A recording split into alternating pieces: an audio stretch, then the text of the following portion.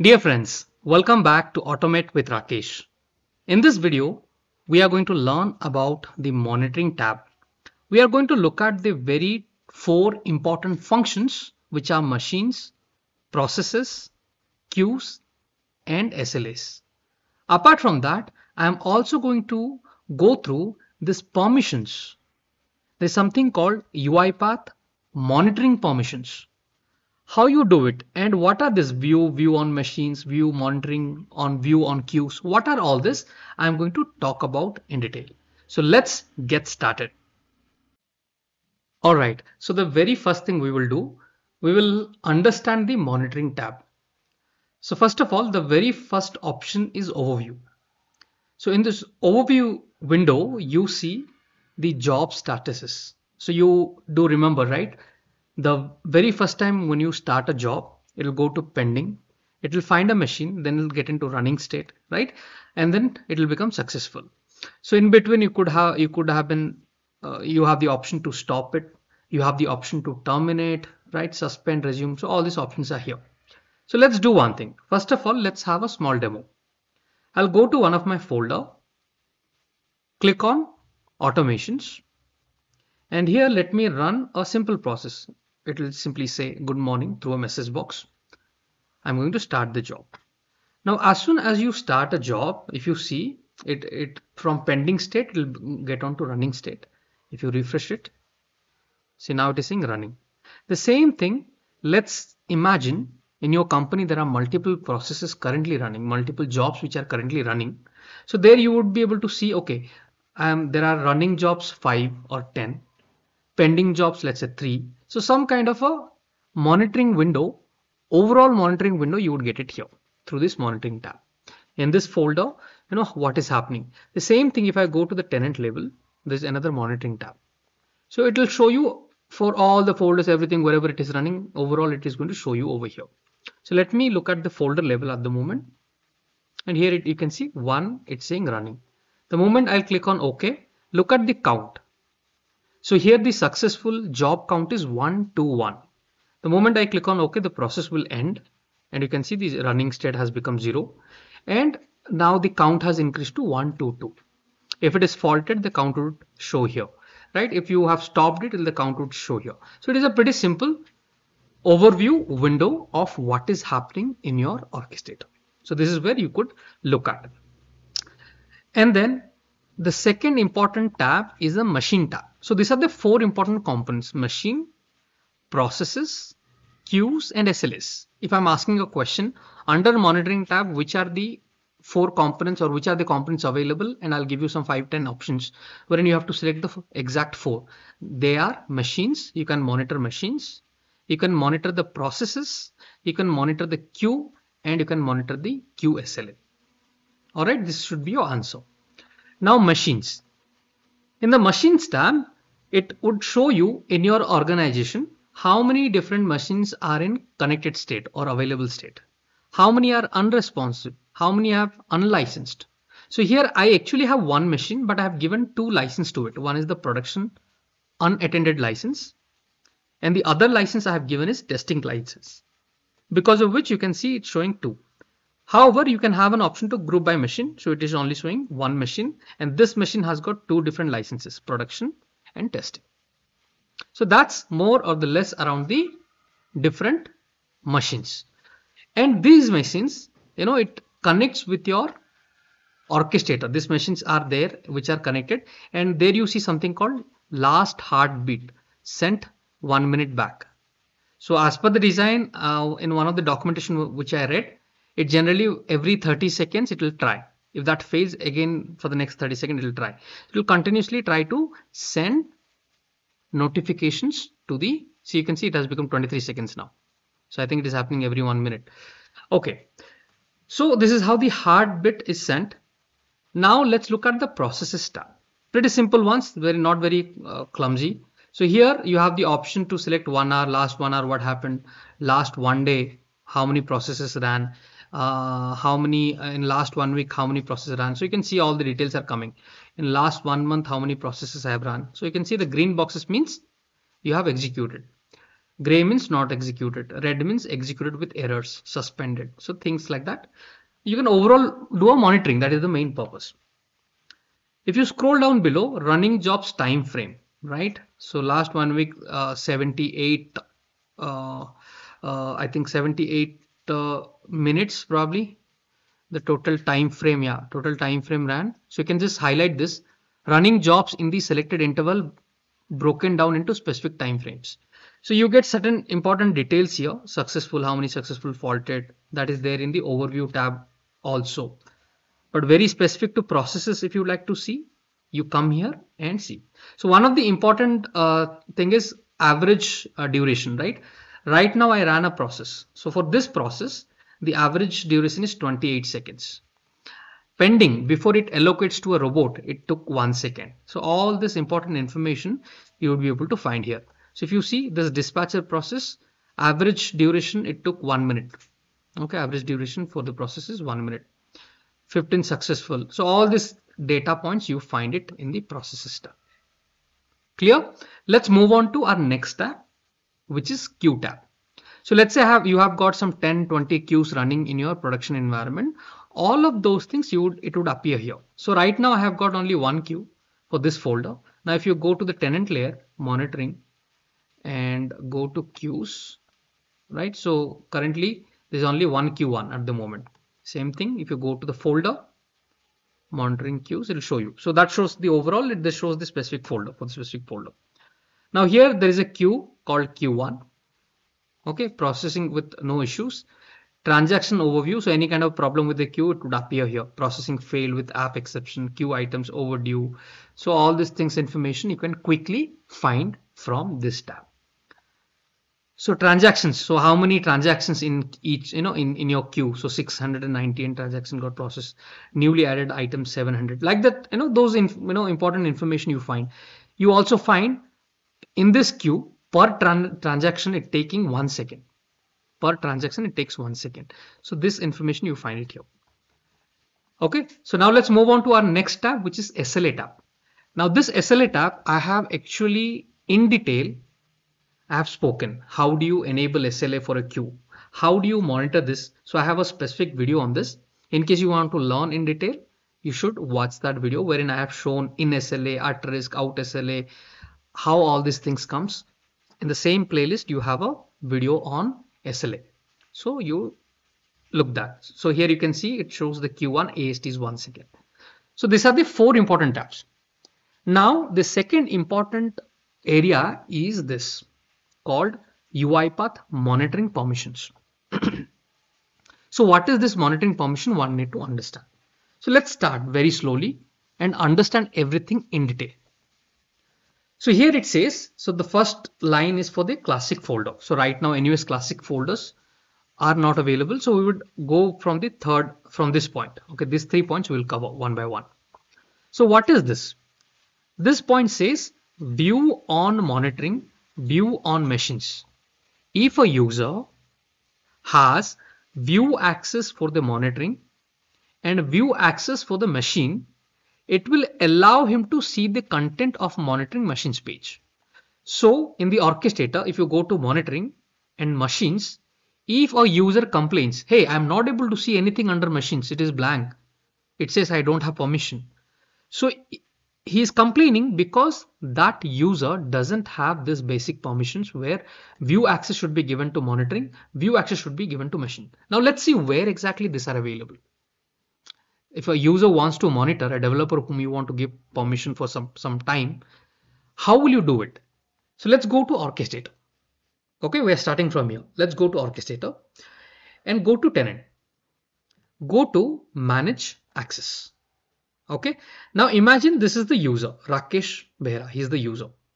Now here if you click on these three dots and click on edit what happens? It shows you this user had got all these different roles. He has a role of administrator. He has a role of allowed to be automation user. Generally you don't put all of this. You provide a specific role to someone right? You don't provide all these roles to one person. You provide so for you know because it's my own account i have given everything there. But generally you provide admin or a allowed to be automation developer some permission you provide. Now let's say you have provided a permission. Let's say administrator permission you have given him or automation developer permission you have given him. Now he should be able to monitor the machines. You want him to monitor the machines. Now for that, how will he do it? Okay, let's go again. Monitoring uh, tenant, manage access. Now first thing what you do, go to roles. In the roles, let's say you have given a role called administrator role to this guy. Machine means uh, machine level access requires administrator. So if you go to this role, you click on these three dots and click on view. Okay. Now this role, if you see, the, in this role, you gain access to all the tenant components like your machines, right? When I say tenant components, remember in the tenant layer, you are you have having all these components, robot, folder, monitoring, manage access machines, package, webhooks, right? Credential, these are the tenants. These are the components of tenant layer. If you hit on a folder, these are the components of your folder layer. Now what I'm doing, I'll go to tenant, manage access, roles, and that user what role he has got I would check that. Imagine he has got administrator access. I'll go here and I have to ensure he should at least have view access to the machines. So machine is a component it is a tenant component. So he should be at least having access to the view access. So here if you see the administrator has view create edit delete all the access he has got. So at least the view access should be there. This is what it is saying view on machines that role for that user should have view on machines. This should be understood. Excellent. What is the second thing it is talking about? He should also have view on monitoring. And where do you find that? Here if you see in the tenant, monitoring is not a component. Monitoring is a folder component. So here if you see folder level component. So you go to folder permissions and here if you see there's a monitoring. So here also he, he should at least have view access. You can give view, create, delete, all the permissions you can provide, but at least that role should contain view access. Getting it? So view on monitoring if you he has access and view on machines he has access, then he should be able to see the content on the monitoring machines tab. Understood? Now, if you have understood this, these are all very easy. View on monitoring and view on queues. For example, so this machine is the only component which is a tenant component. Okay, monitoring queues, all these are your folder components. So if I go here, let's say Rakesh has got this guy, Rakesh. He has got what are the uh, roles he has got? You can check it here. He has got a role called automation, allowed to be automation developer role. Now this developer role, does it contain the permission to view the queues? What was that? Uh, view the queues. So he should at least have view permission on monitoring, view permission on queue. So how will you do? First you check what are what is the role he has. Then you comes to the roles tab. In the roles tabs, check for that particular role name, automation developer. Click on the three dots. Click on uh, view. And here in the view, you check uh, tenant permissions so here okay it has only got tenant permissions alerts libraries machines he has got permission. So in the machine uh, okay and then folder okay not this one. Let's check what is the other permission that user has got So he has got permissions like allow to be automation publisher, allow to be automation developer, allow to be automation user, allow to be folder administrator. This is another role he has got. So let's check in that role, allow to be folder administrator. Okay. Now in this role, let's view. So what are the things should be enabled for him? Allow to be folder administrator, uh, webhooks, okay so where is the uh, folder administrator? Okay let's check this. Okay so folder administrator. So that user i should at least give certain role. You can create your own customized role. And only thing you have to check is in that role if that permission is been added or not. So you go to the view. For example in this uh, these are all folder level components are there so he should have access to monitoring minimum view. You can give more accesses but minimum he should have view access. And the second thing you should have access to the view access to the queue. So these two things are important. Okay? So this is the second point. Now let's cover the third point. View on monitoring and view on jobs. So what is what does that mean? Once again view on monitoring. So monitoring you saw. And there is another folder component should be jobs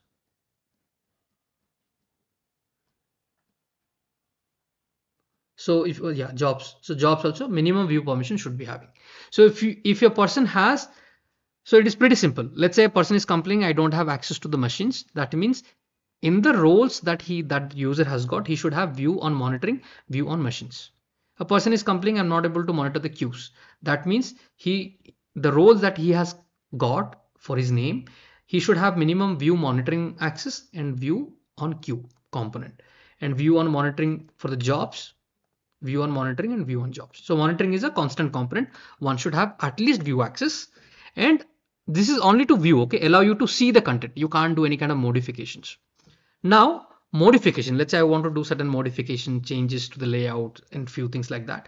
So here are the edit. So you should have anywhere if a question is asked a customer wants to allow or disable errors from the error feed in queues uh, what kind of permission should be given? So you say minimum edit monitoring. So anywhere the editing kind of things questions are coming then you should always look for edit. The permission should be edit. So that means here in the monitoring this second tab should be selected edit for the monitoring component. Okay. So that means he can edit any kind of changes. If only view is selected that means he can only view. He can't do any changes modifications. So based on the question you can easily determine that. So edit on monitoring and view on robot this is for the classic folder let's ignore that let's start from these points so edit on monitoring view on queue allows you to disable errors from the error feed widgets on monitoring queues page. Okay, so only having view access to the queue, but edit in monitoring, it will allow you, allow you to make changes in the monitoring tab. Okay, doesn't need to have edit in monitoring, edit in queues. Only edit and view is enough, the minimum requirement. Okay. Now, second thing, if you would like to make certain changes in the monitoring jobs page, okay what is the change? Allow you to disable errors from the error feed widget of monitoring jobs page. If this is the requirement then what should be minimum permission? The minimum permission is edit on monitoring okay and view on jobs. So remember edit any, anything you would like to edit in monitoring tab sim simply remember edit in monitoring edit on monitoring and here the view is enough just to view you should have view on monitoring view and here only the view access getting it? So that's about it. And here there are a couple of other options. I feel they are not very important. So it's a combination of monitoring and uh, this one. This is on environments this is on folders allow you to filter content. So yeah. So you can go through this documentation but i have highlighted the important points for you to understand. If if uh you know if a user complains say i'm not having access to make changes in the monitoring queue. That means you should have at least the edit permission given to him for the monitoring component. He should have at least edit permission. And for the queue at least he should have view permission. So that is the answer. So all right guys thank you so much for watching and hearing me till the end. Uh, anybody who has uh, you know listened to me till the end please do comment. I would like to know people who have got patience to listen to the entire lecture. Please do comment Thank you guys for watching. Let's meet once again in our next content.